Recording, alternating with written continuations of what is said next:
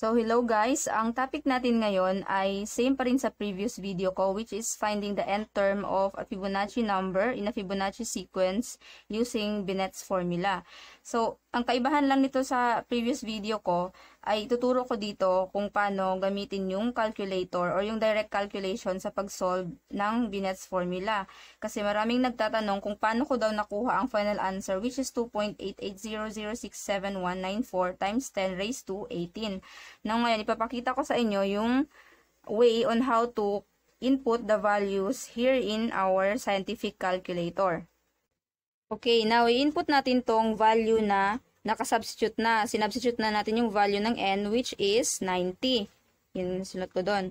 So, first, i-input natin para direct calculation na lang para ma-solve natin agad 1 over, ito yung division, yung divided by the square root of 5 Then, move here. Move mo dito. And then, use the parenthesis. Now, baka nagtataka kayo, bakit bracket yung nakalagay dito and then parenthesis yung nilagay ko? So, same lang yan. Nilagay lang na bracket yan to emphasize lang the formula sa loob, itong dalawang to. Kasi para, pag nilagay, ginamit nating parenthesis din yan, pangit yung kalalabasan.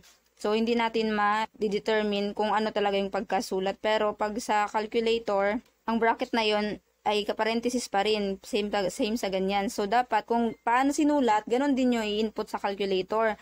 Kasi once na nakalimutan nyo ang isang parenthesis dito sa ating calculator, iba, iba yung lalabas na sagot or iba yung lalabas na answer sa inyong calculator. Now, for next is 1 plus 1 plus the square root of 5. Yan. Tapos move sa baba, divided by 2.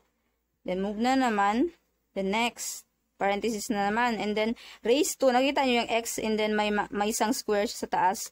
Raise to the number yan, kung anong number ang ilalagay mo. Actually, ang ano na to, ang calculator na to ay Casio FX 570ES Plus. Now, depende yan sa mga calculator nyo kung ano yung meron doon. Now, next is negative or minus, minus, ito 1 minus the square root of 5 divided by 2.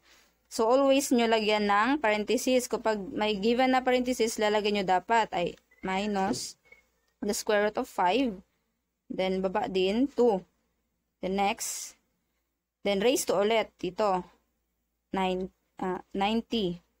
And then, di ba nalagay ko dito, may, meron tayong isang bracket pa. So, ibig sabihin, sa calculator, lalagyan pa natin ng isang parenthesis. Kasi, ibig sabihin yan, itong lahat na to sa loob ng ating equation, i-multiply natin sa 1 over the square root of 5. Kaya dapat ganon. So, ito yung nakuha natin o nagawa nating process. 1 over 5. Try to check na lang.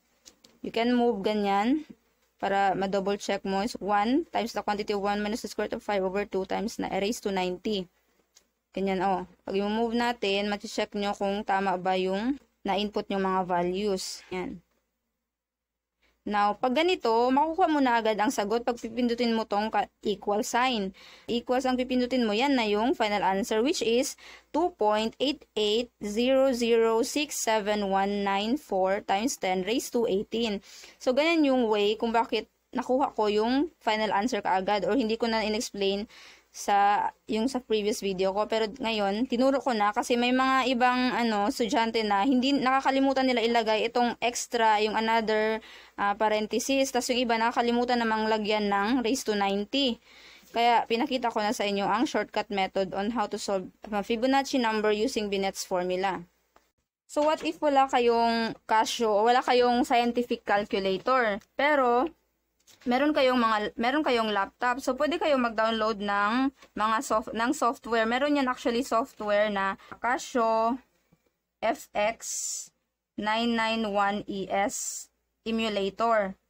Pwede niyo to install sa inyong mga laptop kasi ang ang maganda dito ay ganito siya o ang Casio 991ES. 9FX 991ES Plus. Merong mga merong mga software na for calculation na ganito ang ganito talaga yung format. Bali pipindutin mo na lang using your yung mouse ninyo kung ano yung kung ano yung gagamitin ninyo na mga value. So you can download this one, this software. Actually marami namang mga tutorial on how to download this kind of emulator or so, software for this uh, scientific calculator. Now, how about kung gusto ng professors nyo na kailangan talaga step by step. Like, ikakalculate mo muna tong nasa loob and then, tsaka mo na i-multiply lahat. Like this one, uunahin mo muna to. Kukunin mo muna yung value ng the quantity of 1 plus the square root of 5 divided by 2 raised to 90. And then, kukunin, after mo kunin to, kunin mo na naman to. Pero gagamit ka pa rin ng calculator kasi napakataas ng raised to 90 ng value na yan. Hindi mo na yan kaya i-manual. So, pag ganyan, don't forget talaga to put a parenthesis. Ang ibig sabihin kasi ng parenthesis na yan, kung ano man yung nasa loob, yun yung ita times to 90 or raise to 90. Kaya kailangan, meron talaga yan siyang parenthesis. So, das, pag mag ano ka, mag raise to ka, ganyan, pag ganitong calculator. May mga ibang calculator na yung exponent, to express the exponent, meron silang ganyan sa calculator nila. Meron ganito, oh, yung parang paganyan. So, pwede din yun ganon. Sa akin, pwede na ganito na kasi mas advanced ng konti itong calculator na ginagamit ko. So, i-input mo lang dyan kung ano yung box, ilagay mo lang yung 90. Now, lalabas na ganito yung answer. 6.44002626 times raised to 8 times 10 raised to 18. So, susulat ko na lang to dito. So, ayan na. Pero, may mga nagtatanong na masyado daw mahaba yung number. So, what if i round off na lang. Advice ko lang ha, pag hindi pa siya final answer, don't round off the answers. Example, for this one, wag mo munang gawing 6.4 0.44 times 10. Pwede naman ganun kung gusto ng professor professors nyo. So, you should just ask and yung mga teachers nyo kung pwede, kung acceptable yun sa kanya kasi depende yan sa mga teacher natin. Now, pag ganito, mas maganda na wag mo muna i-round off kung ano yung sagot sa calculator mo, kung ano yung lumabas, isulat mo na lang lahat kung hindi naman gaano ka dami. Okay lang naman siya isulat. And then, for next naman, same pa rin. Pero yan siya, minus na lang. Pero retain pa rin, pa rin tong ano, minus sign natin. Now, for 1 minus the square root of 5, ganyan, i-move mo lang ganyan to, oh. Tapos, palitan mo lang ng minus, minus sign. So, yan na yung lumabas. 1.55278876 times 10 raised to negative 19. So, ayan, sinulat ko na yung value ng 1 minus square root of 5 over 2 raised to 90. Ito na yung value niya mula sa ating calculator. Hindi ko yan siya ni-round off ha. Kung ano yung nasa calcu, yun yung nilagay ko dyan. Now, sa next step naman, madali lang kasi unahin mo talaga yung nasa loob ng bracket. So, ito, itong value na to, minus mo dito. So, itong 6.44 something times raised to 18 minus 1.5527 minus negative 19. Now, paano na naman yan i-input? Now, ganito yan. Diba? Input na lang natin 6.440026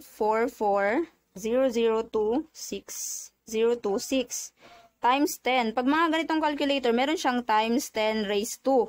Sa mga ibang calculator, meron siyang EXP.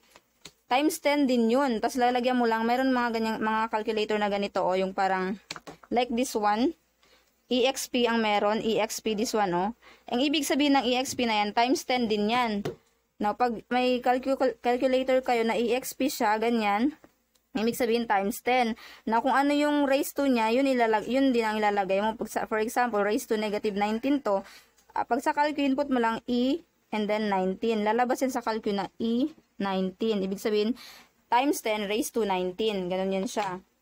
Or pag negative yun siya, negative 19. Ganun. O balik tayo dito ulit sa ating calculations. Tapos ito, times 10. And then, hindi, hindi na kailangan i-raise to kasi ang always na yun siya times 10 kasi ang ibig sabihin ng times 10 na pinindot natin kanina, times 10 raised to x. So, ilalagay mo na lang times 10 raised to which is 18. And then, minus this one, the 1552, minus 1 point, point 5, 552,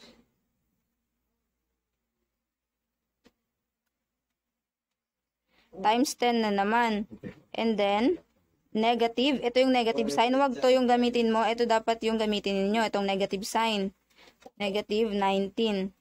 Then, is equals to. So, yan na yung sagot natin, which is 6.4400206 times 10 raised to 18. Nung minus ko tong dalawang, dalawang term na to, ito yung lumabas, 6.440026026 times 10 raised to 18. Now, kung mapapansin nyo, same pa rin sila dun sa first term. Baka kalain nyo, hindi ko siya minus. Minus ko yan siya guys. This one only represents that this is a 0.0000 as in 0 na yan siya. Parang, yan lang yung pagka interpret ng calculator. Pero kasi negative raised to negative 19, so pag mag-move ka niyan, papunta going to the left, magiging 0.00 hanggang abot ka ng pang 19 sa 1. So, ganyan. So, literally, zero lang talaga yan siya. So, minus this one, wala. So, wala siyang, walang effect yung pag minus mo dito. Pero, kailangan mo lang talaga isulat kasi yan yung nakalagay sa ating formula. Now, next, meron na tayo nung minus natin tong dalawa, meron, nakuha na natin ang answer. And then, this one, the 1 over the square root of 5, imumultiply mo dito sa value na to. Now, always gagamit tayo talaga ng calculator kasi hindi na natin pwede manual yung mga square root na yan. Lalo na pag hindi naman siya perfect square like this one, square root of 5. So, po na natin sa calculator. 1 over the square root of 5. Yan. Uh, times.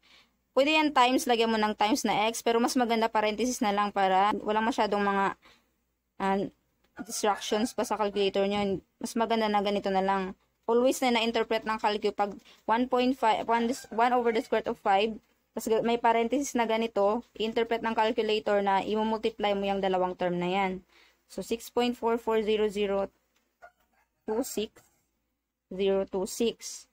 And then, times 10, times 10, ito, and then, lagay mo din 18. Ganyan. Then, equals, so, meron na tayo, don't forget para the uh, another close parenthesis. So, pag i-calculate natin yan, so yan na yung lumabas, which is the same sa ating answer kanina. Which is, isulat ko lang to. So, kung mapapansin nyo, yung nakuha kong value kanina, nung tinimes ko yung 1 over the square root of 5, and then this times this value, ito yung nakuha natin, which is this still, this still the same sa ating una-unang answer. So, ganyan yung way ng pag-solve niya. Remember na, wag nyo na lang i- round off yung mga mga answers, yung mga numbers dito kapag gusto nyo talaga isa-isahin para hindi maapektuhan yung final answer nyo. Kasi once na gumamit kayo ng two decimal places lang na answer or for, pag, sa pag-round off nyo, for example, this one, this term, gagamitin nyo lang ang 6.44 times 10 raised to 18, bali mawawala na to. And then for this one naman, gagamitan nyo ng 1.55 times 10, bali mawawala na tong 2 hanggang 6 times 10 raised to negative 19.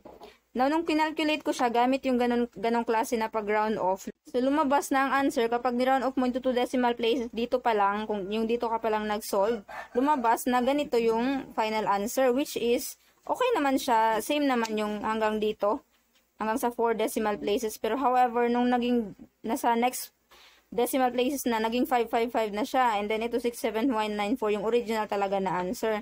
So, may discrepancy talaga sa answer if mag-round off ka kung wala pa yung final answer. However, kung final answer na naman siya, example, ito, for this one, final answer na siya. What if kung mahaba pa tong number na to, like meron pang 4, 0, 8, 9, 10, 11, 12, ganyan, ganyan. So, pwede mo naman siya i ano i-round off na like consider mo na lang as 2.88 times 10 raised to raised to 18. Ganyan. Pero dapat, you, dapat mag-consult muna kayo sa professors nyo kung consider nila yung answer na dalawang na 2 decimal places lang. Meaning ng 2 decimal places, example is 1, 2. Example, yung after ng decimal places, dalawa yung kinonsider mo. Now, kung gusto niya 5, so at least hanggang dito ka lang, mga 1, 2, 3, 4, 5, hanggang 6 lang. Then, isama mo dapat ang times 10 raised to 18. Depende yan sa mga teacher natin kasi depende sa gusto nila actually. Kung gusto nila na talaga exact na answer, so kailangan nyo talagang isulat yung whole answer gamit yung nakuha nyo gamit ang, sa, ang calculator nyo. That's it for our tutorial for using the scientific calculator in finding the Fibonacci number using the Binet's formula. So, dapat make sure na you have a scientific calculator or download a software or apps. Meron naman siguro sa mga app store na mga uh, scientific calculator using your phone and your laptops. So, thank you for watching.